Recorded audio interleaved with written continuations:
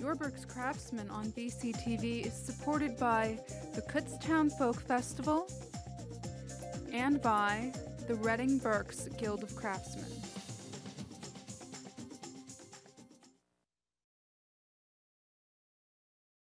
Welcome to tonight's edition of Your Berks Craftsmen. I am Kay Bennecoff, your host, and tonight we are going to visit with Mariellen Hittner. She is going to teach us all about gourds, everything you wanted to know, or even things that you didn't know that you were missing out on gourds.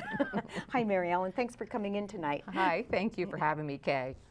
Okay, Mariellen's been a juried member of the Reading Berks Guild of Craftsmen for um, several years. I was going to say many. I toned it down to several, okay. Okay. Um, um, and she hasn't been able to be at any of our shows recently, but she's now retired, okay, yes. and she is going full blast into her gourd art. Yes. Okay, gourd art.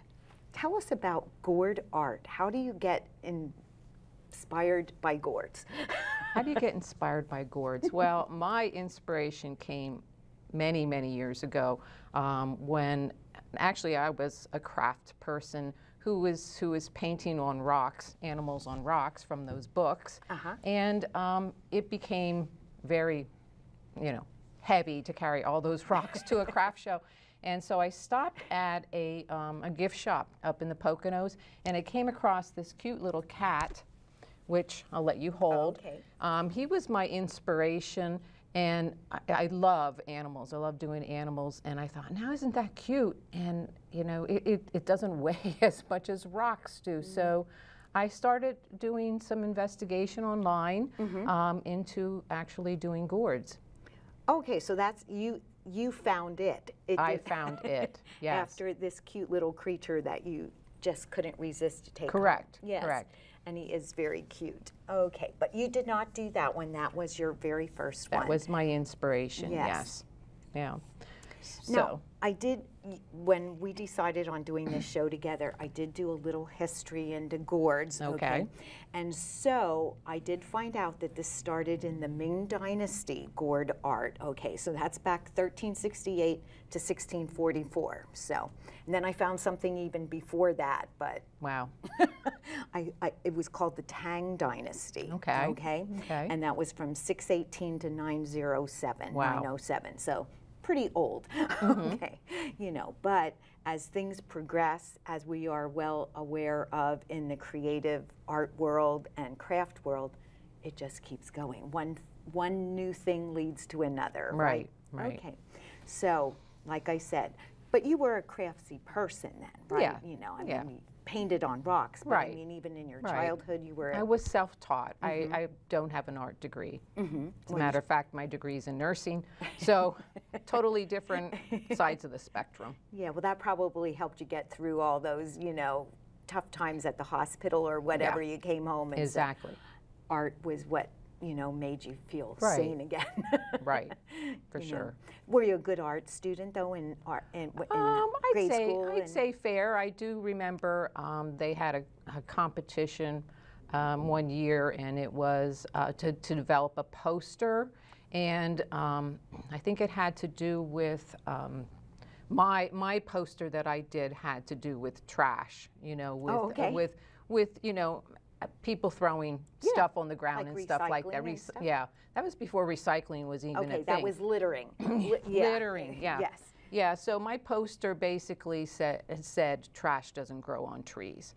And I actually got a award, prize, whatever for that. Oh. So that was like a little dabbling in the art world yeah, back in high school. A little inspiration there, you know, yeah. said, okay, you know, because I hear that people go, oh, I don't have a talent for that and whatever. Hear it all we the say, time. Yeah, and we go, no, you do, mm -hmm. you Mm-hmm. know. I mean, some just like it a little more than others, but don't be afraid to try something. Right. And that's right. what we're going to show to the people today, Correct. you know, and say, Correct. yeah, maybe I'll try that. And whoever thought it was going to be a gourd.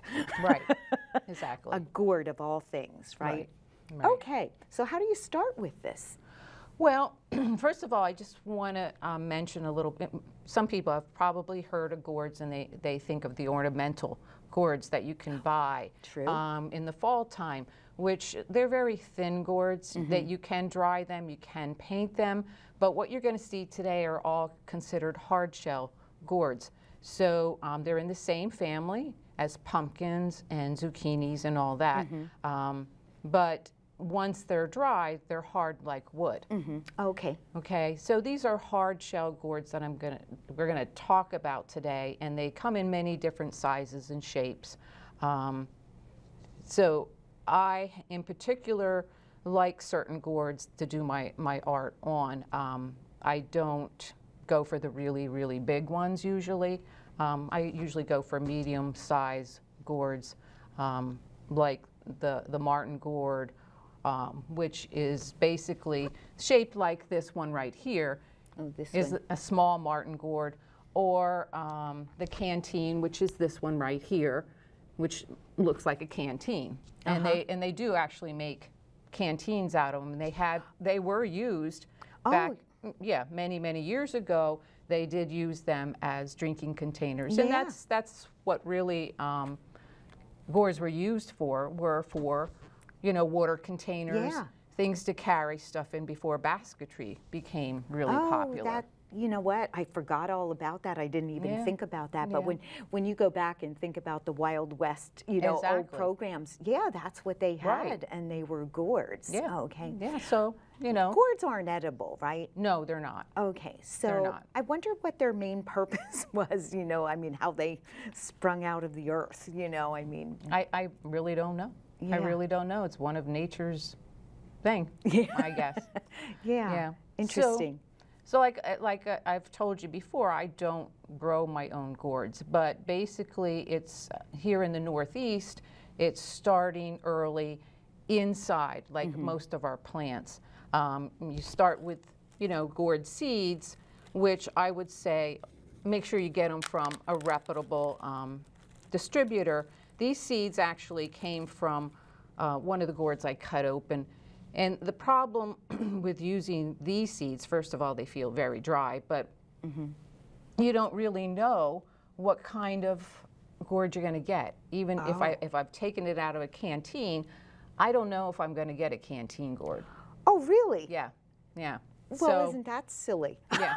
so you want to make sure that you, you buy from a reputable uh, distributor who sells seeds. So when you buy from a reputable distributor, they would know though that they're selling you a canteen gourd. Correct. You know, or the other kind. Right. What kind is this again? I'm sorry.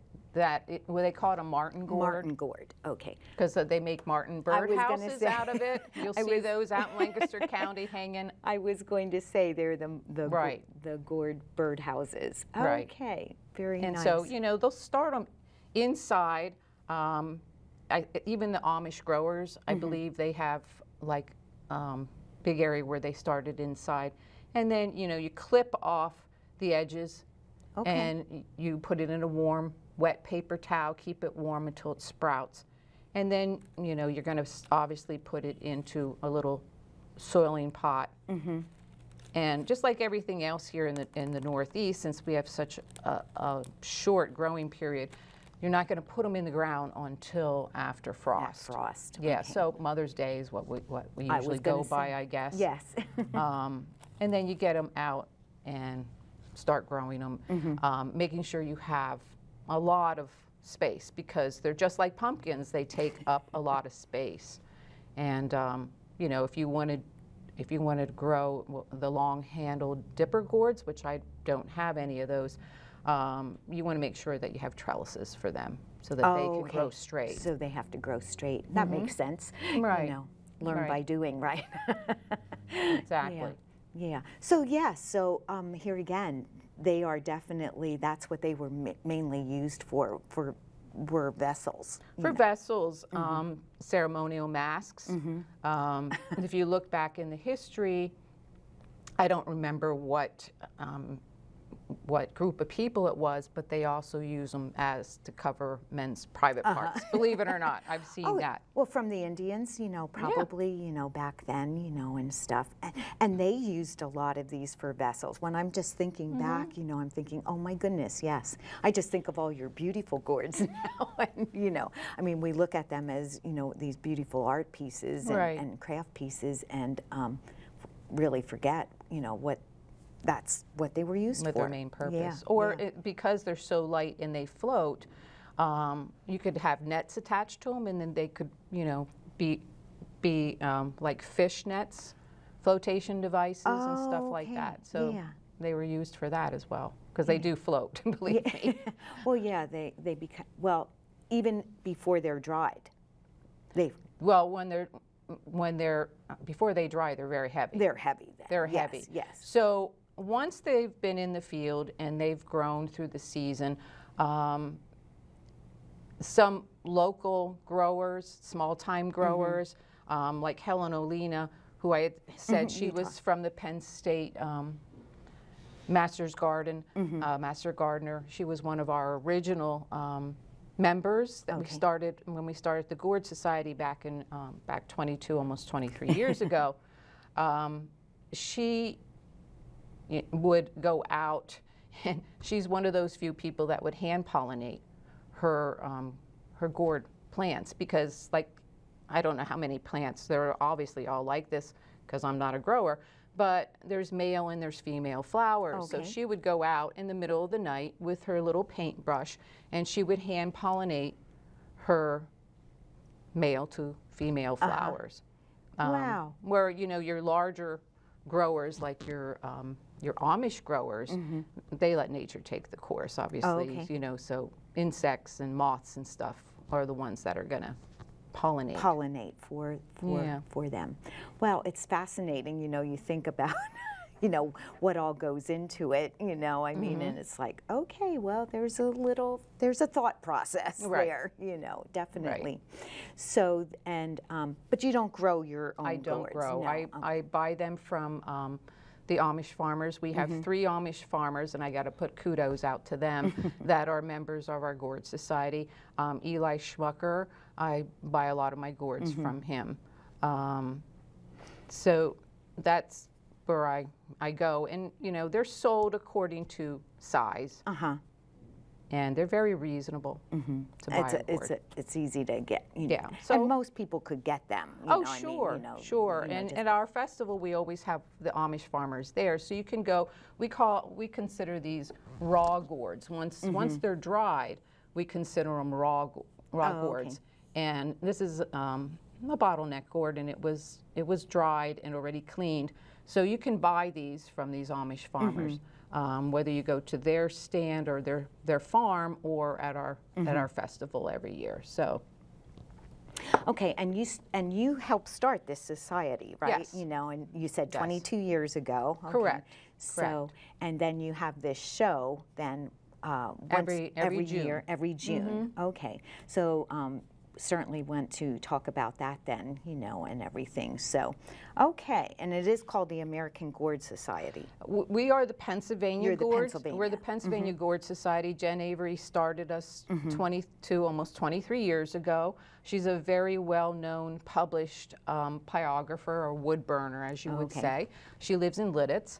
Um, she and I are still members. Um, and yeah, so it started 23 years, I'll say 23 years ago. And um, we started very small. Now we have over 100 members. But it's the Pennsylvania Gourd Society, so we're a chapter of the American Of the Gourd American, Society. right. So there are many states in the United States that have a Gourd Society. Okay. Well, it's much like, you know, you're a member of the Reading Berks Guild of Craftsmen, okay, and we are a member of the Pennsylvania Right. Guild of Craftsmen. So, you know, mu- much like that. The and same it- thing. Yeah. Right. And know. I am the current vice president of the Pennsylvania Gourd Society And the rightly so. historian. So, well, and that's why you're here today to Yeah, you so, know, you give us the history. So we know right. And that part we know that you're we know that we know that you know what you're talking, talking about. about. well, hopefully. Um, yeah, part of, you know, we're a nonprofit, so part of our um, goal is to educate the Yeah. public on, on gourds because most people think, oh, gourds, I think birdhouses, Right. and that's it. Right, right. And you're going to show us how to get to birdhouses and beyond. Correct. you can see I only have one birdhouse with me. Birdhouses are not my thing. Okay, so okay, so you either went out and purchased this gourd or you grew it yourself, and now we're going to. Should we start with cleaning it, right? Sure, sure. So, um, what the Amish farmers will do is, especially the Schmuckers, they'll leave their gourds in the field through the whole winter. Like Oh, they don't pick it. Um, you really shouldn't pick a gourd until the stem itself is brown and dry. Oh, okay. Okay. If you pick it too early, they might rot, just like pumpkins Oh, do. So they leave it in the field all year long, and then in the fall, uh, the spring, excuse me, um, we used to, as a society, we would have our meeting at the farm, and then we would go and help them harvest their Oh. gourds, and it was really nice. And they would give us a percentage off of Uh-huh. any gourds we would buy. But once you pick them, so this one right here, Mm-hmm. um, once they're picked, obviously you can see that is all um, mold on the outside. Mm-hmm. And what happens is gourds are watery on the inside, and at the, the drying process, the water will come out through the shell and it will form the mold on the inside. So this one is completely dried.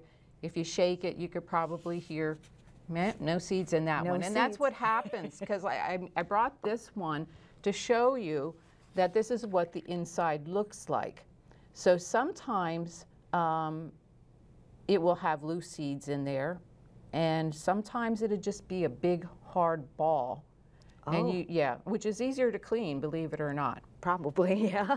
All right, so that's what the inside looks like. And I have taken a class, now I don't do it, but you can use the innards in here and actually make gourd paper out of it. Gourd paper. Yeah, Wow, waste Yeah. not, want not, that's right? right. And we don't waste anything. Mm, That's awesome.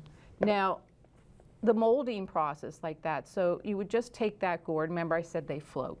Mm-hmm. So the problem is you want to clean them in, in water with um, a liquid, a dish liquid, and Oh, scrub okay. them off. So that will scrub right off. Okay. Um, sometimes it will leave um, different molding spots. Now this one here obviously was not cleaned either. Oh, okay. It has like a white film on the outside. Mm-hmm. I just opened it up so that you could see what the inside okay. looks like. Right, right. And we looked at it. So this one was not cleaned. Um, this one really doesn't have a lot of molding spots, but some of them will leave spots behind.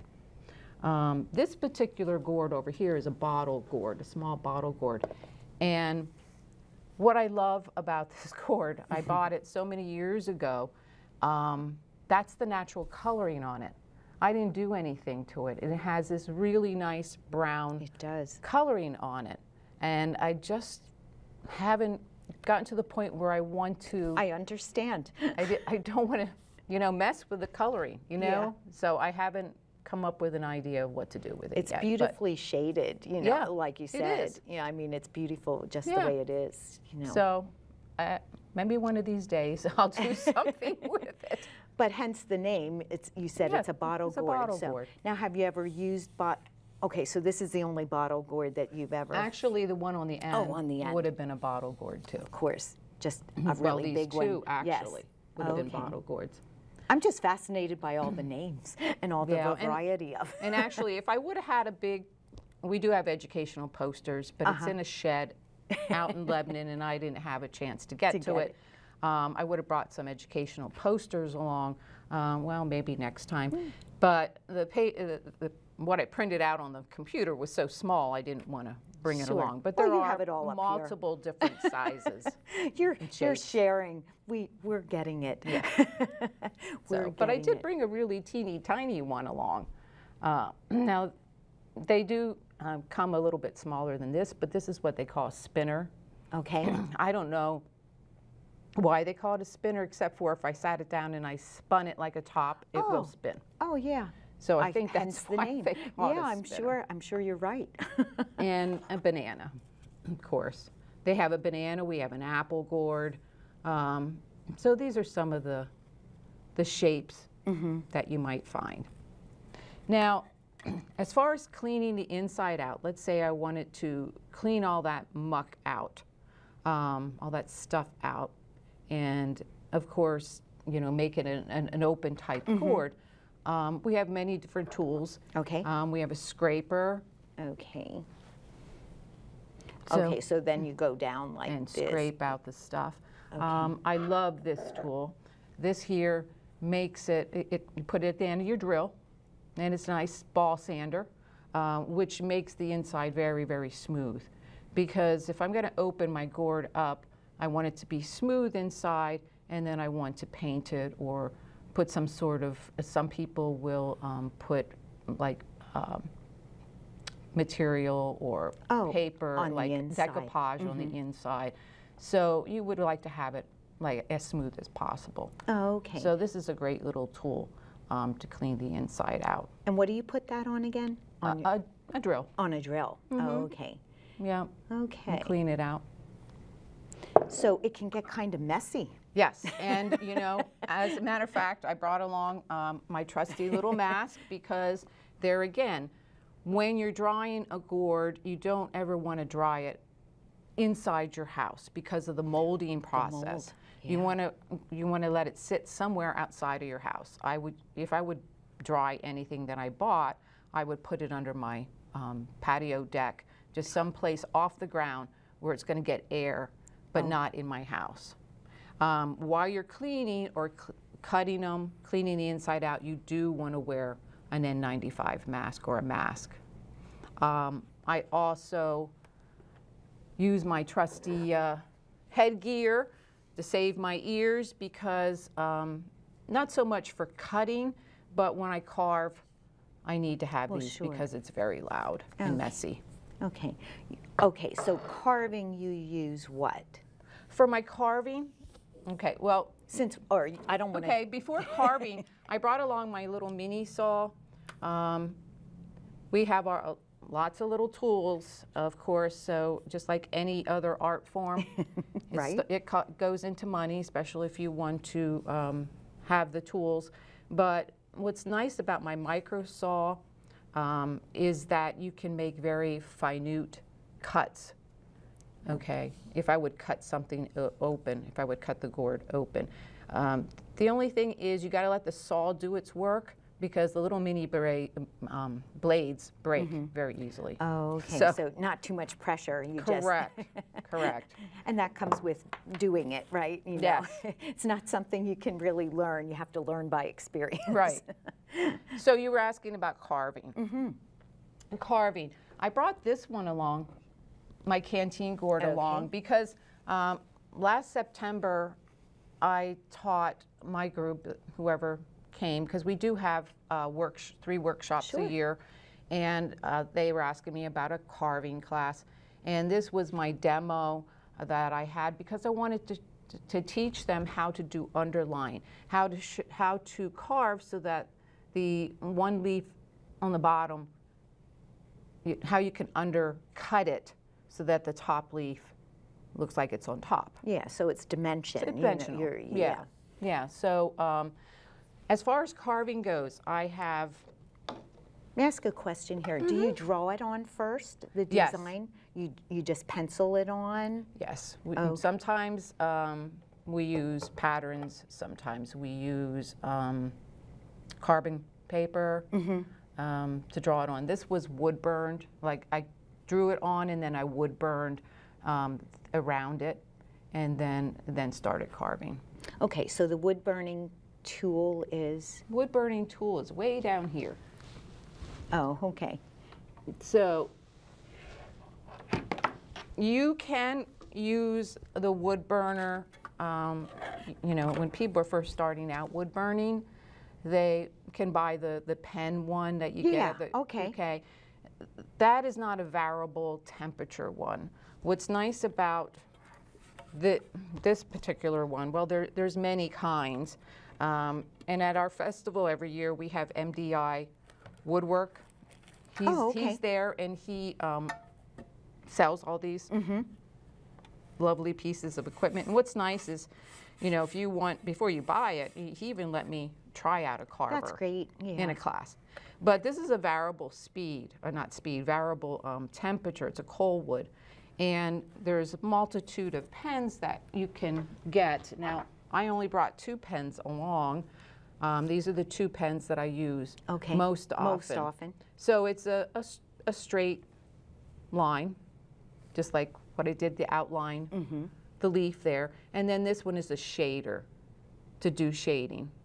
So, for example, on this gourd right here, um, I love this gourd. This is one of my favorite pieces that I did. I won um, second place two years ago in the category. Um, this is all wood burned. Oh, that's it. It's And- beautiful. It has um, turquoise stones inlaid in it, and it is called courage, strength, and freedom. Courage for the um, wolf who's coming around, strength for the cougar, and then freedom, of course, for the eagle. Okay, and this was your design. I actually designed this.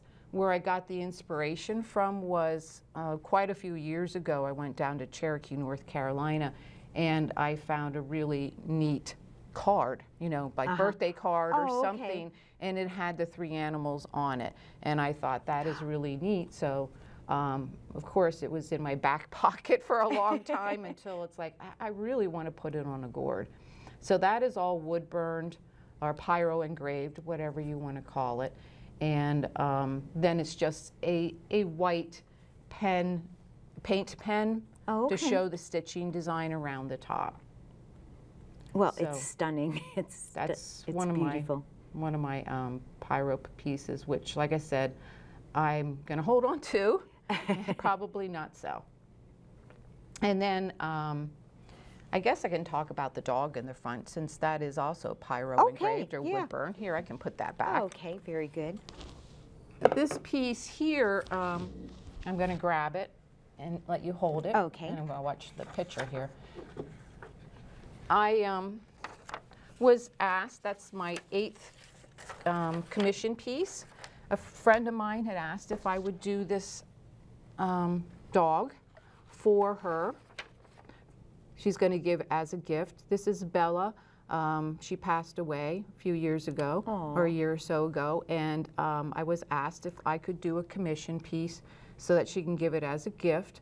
And I have done probably three or four other dogs, and it, like I said, I love doing animals. As you can tell, I love doing animals. Um, so what it says around the heart is paw prints leave. Um, I can't Oh, remember what it says. um, dogs leave paw prints forever on your heart. So then I carved little paw prints around the did. outside. It's so cute. And then the, the top part is, um, we call it a rim. Mm-hmm. It is a leather rim um, stitched on. And then I always go and at the local pet store and get a, a dog tag with the dog's name on it. So that was commission piece that I'm going to be um, giving shortly. yeah. Now, the top, Mm-hmm. um, you sewed this on with leather. Yes. Okay. This this is leather, and we always use and see if I brought it out or not. We always use. I guess I don't see it. Um, we always use wax linen. So that's wax linen that Oh, stitched okay. it on because you can go through the holes a lot easier. Okay, so wax linen, where do you get that? You Is get that, at any. any craft store? Yeah. Oh, okay. Yeah. And, and that's basically what it's used for, or is it used for something else? basically what it's Oh, used for. Oh, okay. Right. And Okay. it comes in many different colors. Um, I know I brought a roll of it along. I just Oh, can't okay. find it. But yeah, wax linen. Um, so that's leather. That's the first time in a long time that I put a, a leather rim on. Um, as you can see on the piece down there, that is um, that's pine needles. This, Those are pine needles this right one? here. Miriam? Okay, this one. Yeah, so Okay. pine needles, the long pine needles that come Oh, wow. from um, down south, from Florida. Uh-huh. Um, I brought some pine needles along, the natural ones. And then the ones that are on top of here are blue. They were um, dyed, obviously, blue. Now, these have to be um, wet to make them pliable in order to put the rim on. Okay, and again, with wax linen. you know, it comes, I think that it goes back, you know, to when they used the, made these gourds into drinking vessels and, and water vessels. Did they do something like that? Uh, probably not. oh, probably not. This is purely no. decorative then. You yes. wouldn't have seen. Okay. Yes, purely decorative. Now that p- particular piece is um, actually, I had to borrow it back because it's sold. but um, I brought it along because of the multiple techniques there.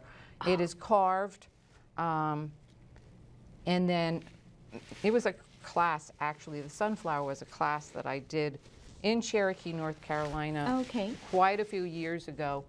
Um, and we, we carved the sunflower. And then it sat in my basement for a long time. And it's like, you know, I need to bring that out and finish it. So it was just the sunflower and the leaf. Um, and then I'm like, but it needs something else. So I actually added the butterfly. The butterfly and, and the sunflower and the leaf are all on the same level. And then this was all carved out. And this is called stippling right here. So I stippled this with my Dremel, and, uh, a certain burr. Okay. And then this is called filigree, where you're actually going in and you're carving holes out to uh, give it some texture, give it some design.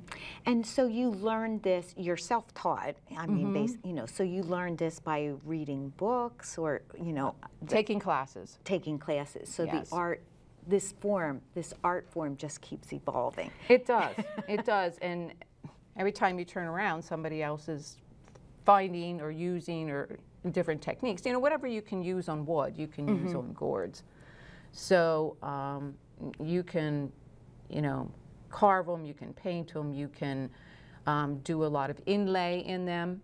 Um, there's some really fantastic gourd artists out out west, um, Arizona in particular, but out west. And going back on on talking about out west, you know, I if I want a thick gourd, now you can tell by holding this that this is Oh, a thicker, this has thicker a- gourd. yeah, very that- sturdy. Yeah, so I get uh, if I'm going to do carving, I'll get my gourds from California. Okay. Because they have a longer growing season and they get much thicker. Okay, you had said that when we were talking, you know, you said Mm-hmm. that the California gourds do have, are much thicker Yeah. than, or Arizona, someplace, someplace out there. but it depends on the growing season. It's not a matter, of course, of, you know, letting it dry out longer or Correct. whatever, you know. Because No. going back a little bit, you said that the growing season and then the farmers or the Amish let it Sit the go. field. the- yeah, so actually you're getting last year's gourds, right? Correct. in the in the growing season. Okay. yeah, it- we are. Not that that matters. I'm just saying, you know, it, it's kind of a long process. You It know, is. You know, I mean, is. to do and that. um, you know, hopefully they have a good growing season. right, right, right. So, but at least you can rely on last year's. Mm-hmm, right. If, if they have a bad growing season. Yeah. But with carving, um, like I said, this is my ram. Um, what's nice about this, as compared to using a Dremel, Dremel can get very heavy, even with a flexible shaft.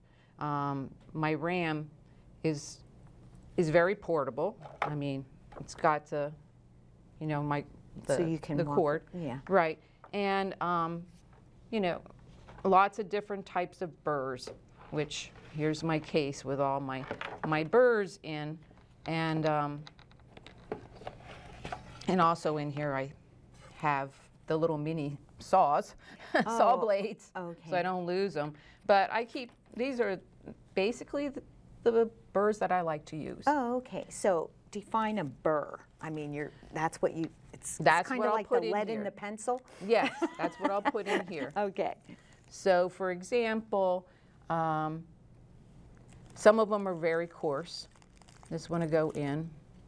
There, some of them are very coarse, and this one is very good for getting depth. Okay. If you want to take off a lot of um, gourd material and get depth. Um, so, when you are first starting off, let mm-hmm. me see what I have in Okay. here when you're first starting off, like say I want to do one of those two gourds down there, I will start with this one right here. This is called an inverted cone. Okay. So with an inverted cone, I can go around the outside and I can get the depth I want. I can outline it and I can get the depth I want. Okay, so when you're using this one, okay, to get the depth, is this mm-hmm. what you're talking? Yes, You're you're correct. getting all that. Okay. Correct. And it will um, carve a lot of that material away, but mm-hmm. it will give me depth on the outside. And as you can see, it's not as deep here, and mm-hmm. it's going to be thinner on towards the middle of it. Okay. How do you know how deep you can go? I mean- that's that can be a problem. that can be a problem, and that's why if I'm going to carve, I'm going to use uh, probably a gourd that's open. Oh, okay. because then I can tell what the thickness is. Mm-hmm. Um, when I was getting ready to teach this carving class, and actually even before that, because I didn't bring that gourd along, but I did, I did complete um, a gourd with all these leaves on it. That's probably tall like those, um, and has multiple leaves on it and has a parrot on it. I didn't bring that one along, but I didn't have it opened, and it I had an oops, where I went right through. And so if you have that, then you just somehow make it work in work your into your design. design, right? That's what you do. yeah, yeah. So it, no one knows it's an oops. right, right. So you just make it work. yeah. So this I'll use if I'm sitting at home and I'm, you know, out my garage or mm-hmm. outside because it gets very messy. In the wintertime, I have to do it in my garage, unfortunately. Um, but what I purchased last year from MDI I'm give you these. at the yeah. festival, as I knew I was going to be teaching that carving class. And whenever you're teaching, you want to be able to walk around from student to student. Um, so I, I bought the Mystica brushless power tool. This one here, you can clip onto your belt Oh, okay. and you can put your burrs in. Oops, here's one. You can put your burrs in, and I can walk around. I can go to student to student, Oh, that's cool. and. I can help them. uh huh. And um, you know, this this gets recharged when it gets low. It'll tell me on here when the battery's getting low, and it's just So the tools keep getting better and better, Um, right? yes, and it's like I told myself last year, I am not buying any more tools. And then all of a sudden it's like, hmm, but I really would, really would like to have that one. Well, I think you can talk to any artist or create or you know craftsman. You know they have, and the quilters call it their stash, Yes. and they have everything known to man. Painters, you know, as you are also that, you know, have what all kinds of paint brushes from Oh, the, gosh, from yes. the smallest brush, you know, to the thickest brush, right? And then the bristles are thicker in one than another. So. Well, they all do different things. And unique- They're all yeah. different unique brushes. So just like these, all different unique tools. So Yeah. So, so a person starting out, what would be their first? How would you start a person? You know, that Hmm. said, I just love your work. I want to learn how to do this. What would be the first class, or Well, how, how they'd go about I it? I guess it depends on what they're interested in. Um, and, and that's what we strive for Mm-hmm. with our, our festival every year. Um, just so you know, it's June 13th to the 15th this Good. year. And we do um, have some starter classes. Um, for example, basket weaving. We didn't talk about basket Oh. Well, weaving. we're going to now. And um, those two pieces, um, the, the birdhouse in particular, I was a class I took from Jim An- Ansbach last year. He will be there this year again, and because I just loved his design, and he um, he, he supplies everything. So if you would want to start off, This and, would hi, and his classes sell really quick. Um, he will supply the gourd, he supplies all the reed, and plus he's a great instructor. So he he's teaches down in Florida, he teaches at other gourd festivals as well. So that would be a good place to start. Um, so basket weaving doesn't take any equipment. we also have a lady who's coming. I'm hoping, knock on wood, because the classes have to be in by the end of this month of the instructors, and um, she is works very. Um, she did these phenomenal pieces last year at the festival. We do have a um, competition, and she used QuikWood on, and I don't have this, the shape gourd that she did, but she did little miniature people using QuikWood, which is a clay, a two-part epoxy. And she made um, a different person for every month. So, like, let's say we, we were in February, maybe um, maybe February's was like a Valentine sure. kind of thing, you know, whatever holiday it is. And um, she's supposed to be teaching this year, so that would be another example of how to start with clay. Excuse me. Um, we're hoping to have a beading person come. She owns a beading shop in Bethlehem. Okay. And um, we're hoping that she will come and teach a beading ornament class. Okay. Um, this is a, an egg gourd that was beaded by one of my members. I don't know because they didn't sign it, but every year we do um, a Christmas party or holiday party, I guess I should say, and we do an ornament exchange. So this Okay. was an exchange that I got. Okay. Now that's really pretty. Now this is painted with a real glossy type. Right, acrylic, an acrylic Oh, okay. So, you know, you can paint with acrylic or use um, uh, colored pencil. Okay. So, No one would ever know this is a gourd. no, I mean, Not at all. You know, and you have the nice little metal thing in here, hook, you know, yep. to hook that on your Mm-hmm. Christmas tree or your Easter egg tree, you know, or whatever. But then the beading itself is just another craft, you Yeah. know, that you can. exactly. Which That's so pretty. it is very pretty, and I, I am not a beater. You're not I- a beater. No. so I, it was a great example to bring along, just like um, with the clay here. Yeah, I would- yeah. With this, um, there again, you maybe wouldn't know that that is a, a No. gourd, and there again, I don't know who did that, Mm-hmm. but that was probably all done with quick wood. I'm guessing Okay. different designs on it. Okay. And then the QuikWood, does that have to dry or you apply that right away? Yeah. It's a two-part epoxy, so when you cut it, it um, you have to knead it together, and the longer it sits together, the harder it will get. So you you have do have play time Okay. to get it onto the gourd and get it the way you want. You can smooth it out with you know wet fingers. Um, I do suggest that you put lotion on your hands before you work with it because it does get Very can drying, get sticky and yeah. drying, and then um, it just hardens. Yeah. Okay, so then you apply it onto here and it hardens onto the gourd. And then, of course, you have to, again, you know, have this all painted and ready to go. and ready to go. Now, when you paint, oh, well, let me ask you this. Um, so these little stars, were they painted then once they were Once applied they to were the? applied. Okay. Now you can um, use the the clays that you can get out at Hobby Lobby or Michaels. You know the ones that have to be baked. Oh, okay. You can use those. You have to put it on the gourd, and then you have to bake it. Oh, okay. Oh, what does that do to the gourd? Nothing? Well, you got to be careful. You got to make sure it's a very very low temperature because it can brown the gourd.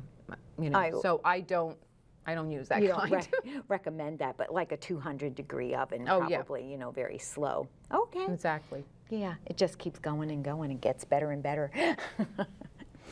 so, So, and then since we talked about painting, um, the gourd I have down there at the very end, that was painted. Um, I won People's Choice Award for that Oh. gourd uh, two years ago. So that was all painted with acrylic, um, with the different birds on it. There again, that's a piece that I probably will not part with. Um, but I'm, I'm painting is okay. I enjoy painting. I prefer to do um, pyro engraving or carving. That's more my niche.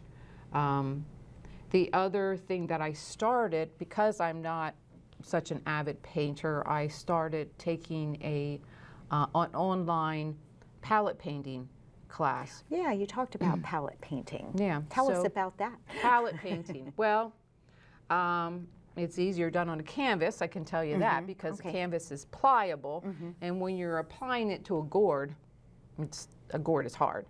So it does make it a little more difficult. Um, the piece I have at the very end there, the little gourd, that is done with palette paints. Oh, that's palette That's paint. palette Oh, okay. painting. So you're using the, the metal palettes, and and you're putting the paint on very, very thick. Yeah, I see the dimension in it. it looks, Um, correct. you know. Yep. So um, I did that piece because this year our our title for the festival is "What's in Your Garden," and so I thought the competition is supposed to be, you know, related to that topic. What's Oh, in your garden? So I thought, well, let me try to do a palette painting and see, you know, if it comes out, and maybe I'll enter it. I'm not sure, Oh, okay. but I do try to enter at least three pieces Good for you. every year. Yeah, as well you should. Getting back to the tall gourd, you know, where you did the birds on Mm-hmm. and that. So that's just acrylic paint. That's acrylic paint. Okay, now did you draw that on first? Of or course. You did? Oh, okay. Yeah. Yeah the, the only thing I did not draw on that was where the limbs went. okay, that was, That was after. That was afterwards. Yeah. But yeah, the the birds. Um, I'm not much of a bird person, Mm-hmm. but I think I did pretty good. oh, yeah. actually. we had no birds complaining. No, no. So um, one thing I want to mention, and I want to talk about the festival a little bit more. Um, we are asking. There's a few new things this year. We are okay. asking for um, other artisans to join us. Um, if you go onto our website at www.pagourdsociety.org, um, there is an application there in case Oh, okay. other artis- artisans would like to come and set up um, a display booth and sell. Oh, okay. Um, we're looking for, I, I think the application says gourd artist, but just ignore that. Just are- ignore that? yeah, we are looking for any kind of artist, whether Mm-hmm. it be uh, wood carvers or um, fabric artists or Mm-hmm. weavers, or we just want to try to get a variety of artisans Mm-hmm. there. Um, also, if they're interested in teaching a class, that would be fantastic. Mm-hmm. Oh, okay. Um, like I said, the application for teaching has to be in by the end of February. Mm-hmm. Um, the other thing that's going to be new this year is we're going to set up an art gallery. So um, any of the gourd artists that want to sell their art, they're allowed to put in five pieces. Okay. And so we're we're going to have um, pieces for sale. And um, we invite children because my my the Pocono patch that I belong to, we have patches. Um, we are putting together a little um, a little kit for any kids that come in. It's going to be a gourd kit that they can either work on there at the festival or they can take home and Oh. work on it. So, I So, guess- it, yeah, so it's very nice. It's like you can go there for the day, you Correct. know, and, and do Correct. that. and it's at the Lebanon Valley Expo Center. okay. Um, like I said, June 13th to the 15th. Okay. And the classes, I believe, will be out in April um, that you can sign up for. I'm not quite sure, but that's where they when they usually are. And I also have to thank the Lebanon County Commissioners because the past two or three years, they have been our sponsors. Oh, good. And I want to put kudos out to them and Sure. thank them for um, their generosity. Yeah, sure. Well, I think today we've certainly um, talked a, a lot about gourds, and you know, like I said, I entitled this, you know, everything you wanted to know about gourds, or maybe you didn't even know you wanted to know, but now you do. Can I So- share one last thing? Sure, sure. We have time. Um, yeah. Because I have to show everybody Oh, my yes. clock. Yes, yes. Um, we didn't want to put this up because we didn't have any place to really To hang it. this. Yes. this is a gourd clock, and it is battery operated. And um, this is a class that I'm co-teaching this year Oh, at the okay. festival, so I wanted to um, bring it along. It does, yes. it is made out of a gourd. Do you want me to hold that Yes, for you? it you made out of a gourd. it? Actually, that one is made out of a canteen gourd, a, a bigger Oh, okay. Canteen gourd. And um, we have the little lights in it.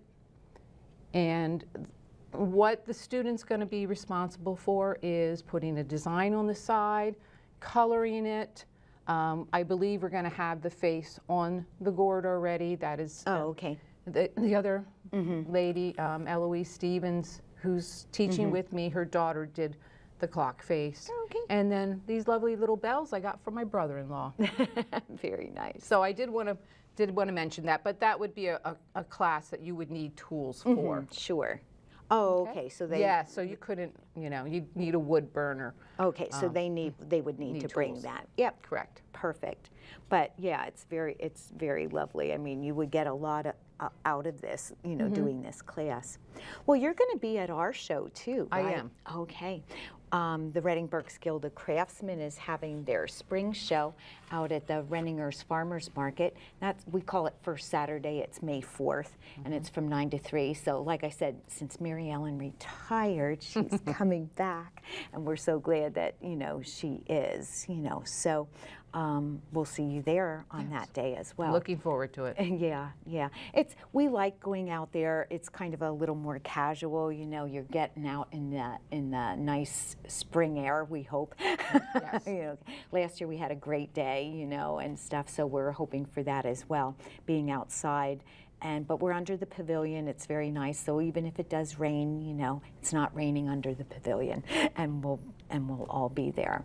So summing up, I think we have touched on every gourd here, though. You do have a few things, though, uh, just at the last minute. I see that pencil in that thing. Oh, yes. this here. Okay, my husband made this. So if I want to level off a gourd, basically what I would do is, um, if it's not sitting right, I would put it on a, on a belt sander and Oh. sand the bottom off.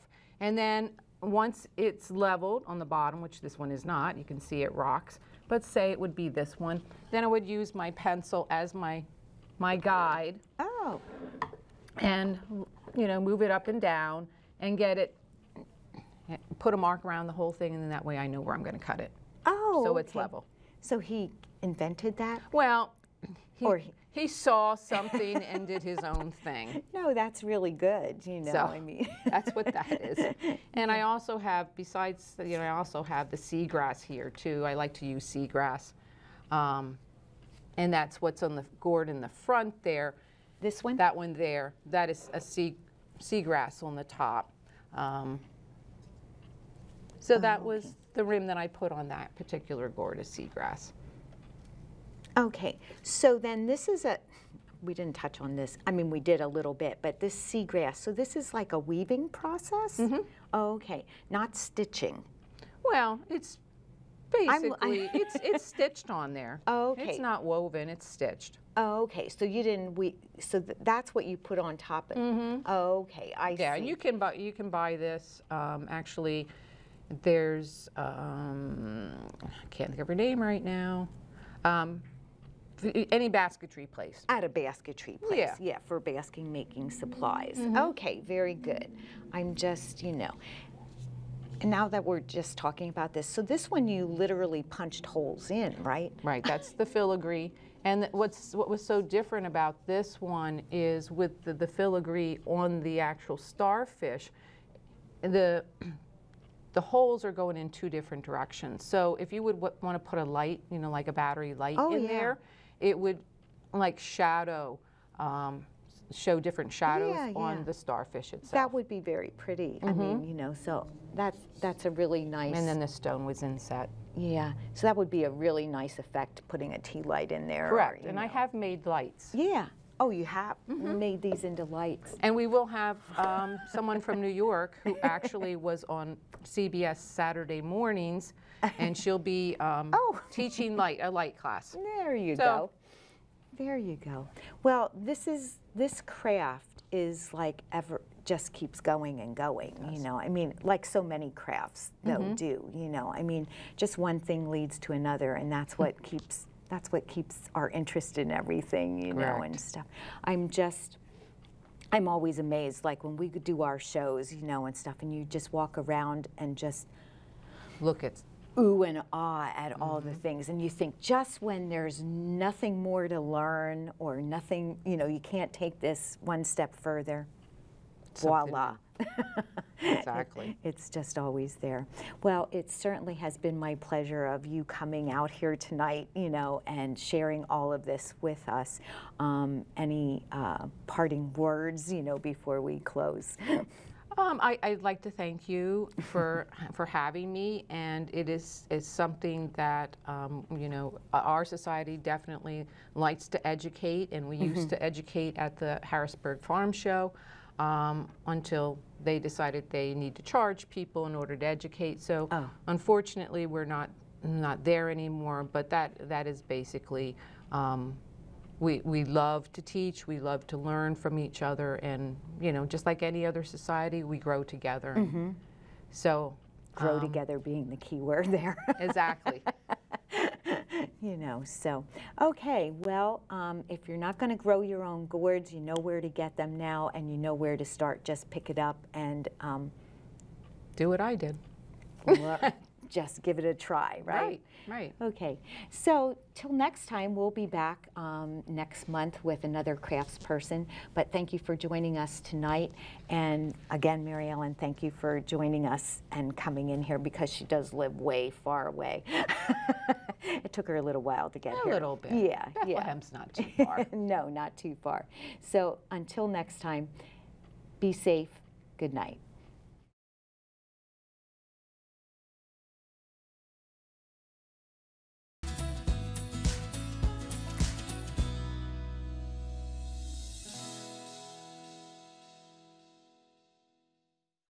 Your Berks Craftsmen on BCTV is supported by the Kutztown Folk Festival and by the Reading Berks Guild of Craftsmen.